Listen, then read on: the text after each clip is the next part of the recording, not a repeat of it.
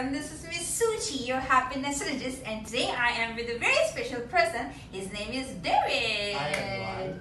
I've been uh, meeting up and knowing David for past one year, and during this one year, I have seen him going in and out of the hospital for his health issues.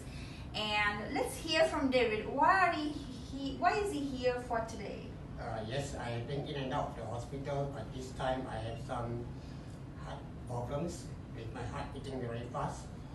And so tomorrow they are actually going to bring me for a scan to find out what happens.